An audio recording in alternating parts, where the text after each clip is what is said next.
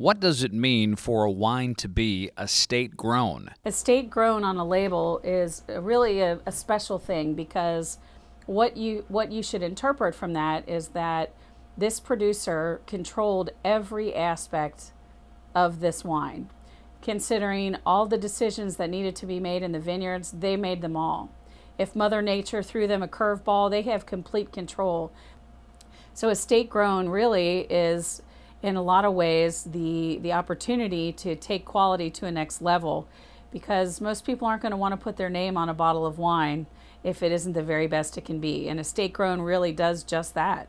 You are controlling everything from what happens in the winter in the in the vineyards to what's happening in the winter to the winery what happens as the grapes grow how the wine is made how it's bottled when it's released. You're controlling every single aspect of that wine. And generally, it's going to come out to be that this is a really great wine because I controlled every aspect of it.